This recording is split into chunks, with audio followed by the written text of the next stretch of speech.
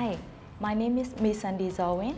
I'm from HR and I'm taking care of talent acquisition and employer branding here. A big part of my job requires me to deal with different business units and functions to underdefine talent needs and to attract and bring the best fit talents to DKSH. For me, DKSH is a great place to work because of its high-performing and people-centric culture in which employees are heard, trusted and empowered.